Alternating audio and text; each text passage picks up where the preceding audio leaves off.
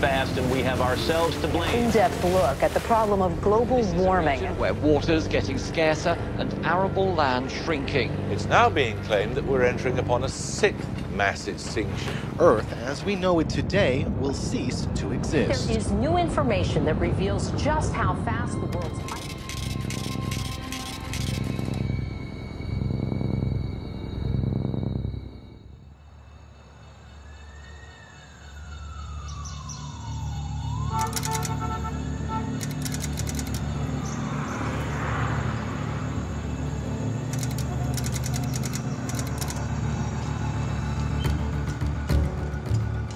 What if economic and financial markets could save the planet? We use nature because she's valuable, but we lose nature because she's free.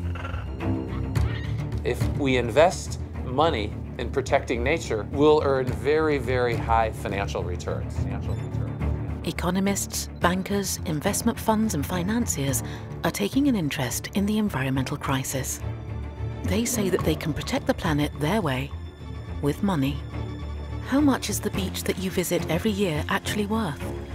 How much for the forest that you love to walk in so much? What is the value of a plant, a mammal, an insect? Does this combination seem at all unnatural to you? Financialization equals to rape of the earth.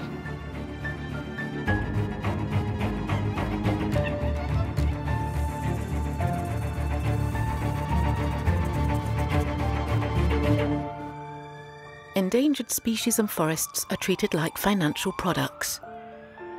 Can markets succeed where politics have so far failed? But at what risk? At what price?